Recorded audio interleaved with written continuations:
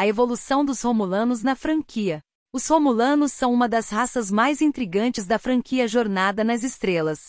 Eles são conhecidos por serem altamente sigilosos, misteriosos e agressivos, além de serem uma das maiores ameaças à Federação dos Planetas Unidos.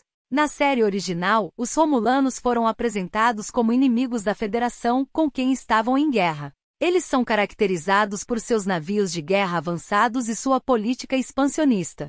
Na série seguinte, A Nova Geração, os Romulanos foram retratados como tendo um império forte e um governo altamente centralizado, liderado por um Senado.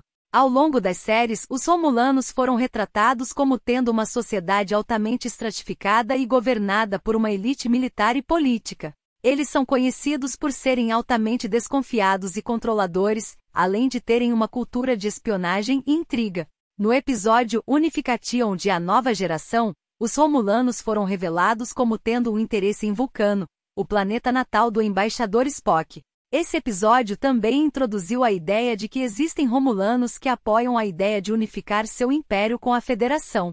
Na série Deep Space Nine, os Romulanos são retratados como tendo uma aliança temporária com a Federação para combater a ameaça do domínio.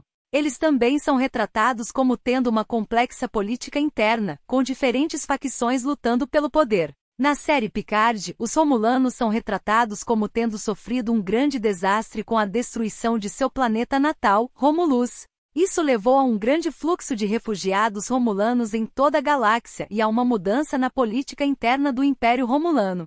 Em geral, a evolução dos Romulanos na franquia Jornada nas Estrelas é marcada por sua complexidade e sua capacidade de surpreender os espectadores. Eles são uma das raças mais interessantes e intrigantes da série e continuam a fascinar os fãs até hoje.